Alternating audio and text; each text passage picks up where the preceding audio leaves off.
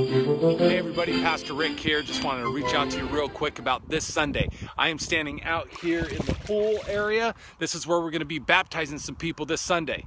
This Sunday is Lawn Chair Sunday. It's going to be fun. We're asking you to bring your lawn chairs, bring them into the sanctuary.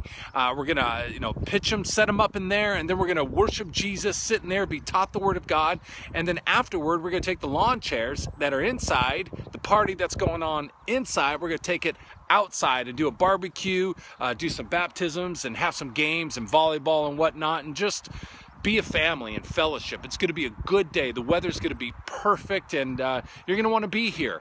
One thing I want to encourage you to do is just come early.